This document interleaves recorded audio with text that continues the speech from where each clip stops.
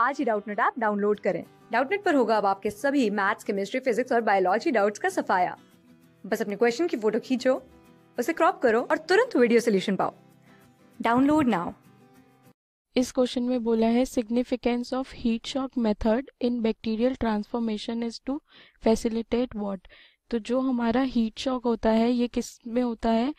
जब हम ट्रांसफॉर्मेशन करते हैं तब ये स्टेप हम यूज़ करते हैं और ट्रांसफॉर्मेशन से क्या होता है? जो हमारा सेल है, हम उसको कॉम्पिटेंट बनाते हैं।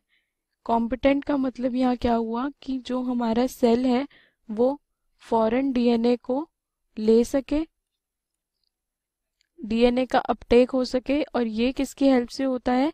ये जो हमारे बैक्टीरिया है, उसकी सेल वॉल में कुछ पोर्स होते हैं, उनकी हेल्प से जो हमारा डीएनए है वो पास हो सके, इसलिए हम इसको क्या प्रोवाइड कराते हैं?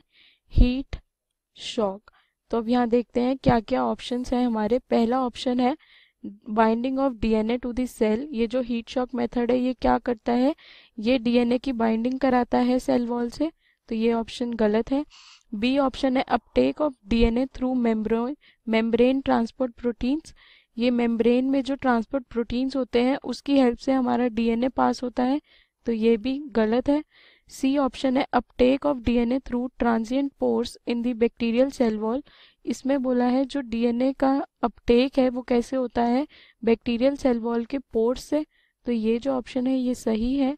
लास्ट ऑप्शन है expression of antibiotic resistant gene ये हीट शॉक मेथड क्या करता है? ये हमारे एंटीबायोटिक रेजिस्टेंट जीन को एक्सप्रेस करवाता है। तो ये भी गलत है। तो जो हमारा करेक्ट आंसर है, वो है option C uptake of DNA through transient pores in the bacterial cell wall तो सी हमारा करेक्ट ऑप्शन है यहाँ। क्लास सिक्स से ट्वेल्थ से लेके NEET I I T JEE mains और एडवांस के लेवल तक। दस मिलियन से ज़्यादा स्टूडेंट्स का भरोसा।